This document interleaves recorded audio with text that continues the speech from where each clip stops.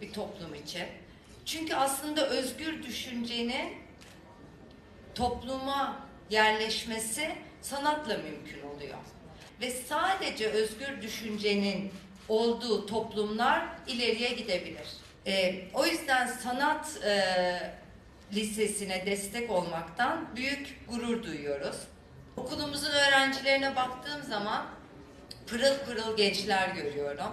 Ee, ve biz vakıf olarak eğitim önceliğimiz olmakla beraber toplumun e, gelişmesine katkı sağlayacak birçok konuya destek veriyoruz.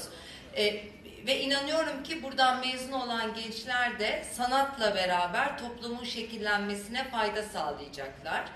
Ee, yaratan, hayal kurabilen, ümit veren e, nesiller yetiştirmek için önlü, bu nesil böyle nesillerin önünü açmak için biz vakıf olarak elimizden gelen her türlü çabayı göstereceğiz. Sağ olun. 11. 11. sınıf öğrencilerimizin e, yağlı boya çalışmaları buna başladılar bu sene. E, yine e, karşıdan bir natürmort hazırlanıyor. Öğrenciler ilgili alanlardan kendilerine göre kompozisyonları kurup oradaki renklerle e, yağlı boya çalışması.